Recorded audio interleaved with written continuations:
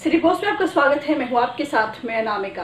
राज्य में विधानसभा चुनाव 2020 को लेकर के एनडीए में जेडीयू एक बार फिर से बड़े भाई की भूमिका निभाने की तैयारी में जुटा है।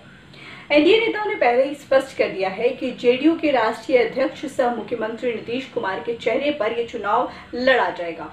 ये स्पष्ट होने के बाद से ही एनडीए में जेडीयू का कद बड़ा हो चुका है। अब मामला जो है वो एनडीए में सीटों की संख्या को लेकर के उलझा हुआ है। जेडीयू फ़िलहाल बीजेपी और एलजेपी की तरफ़ से सीटों का मसला सुलझाने का इंतज़ार कर रही है। इसी कारण से पार्टी ने अपना पत्ता नहीं खोला है। सूत्र बताते हैं कि जेडीयू 2010 के इस चुनाव के फॉर्मूले 141 रेशो 102 को ही इस चुनाव में आधार बनाना चाहता है। उस बार जितनी सीटें जेडीयू को मिली थी, एनडीए घटक दलों के समझौते में भले ही यदि इतनी सीटें नहीं मिलती है जेडीयू, एनडीए में सबसे अधिक सीट पाना और उम्मीदवार खड़े करना चाहती है। सूत्रों का कहना है कि एनडीए के घटक दलों में अगले सप्ताह तक सीटों को लेकर के तालमेल होने की संभावना है।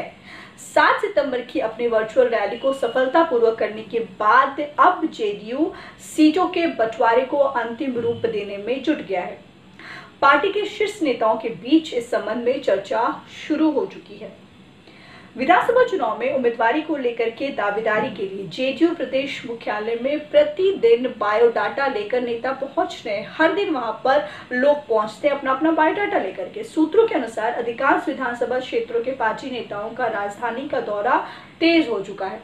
हालाँकि सभी नेताओं को समय पर विचार होने का संदेश दिया जा रहा है। साथ ही साथ चुनाव प्रचार प्रसार में बेहतर तरीके से जुड़ जाने का भी संदेश दिया जा रहा है।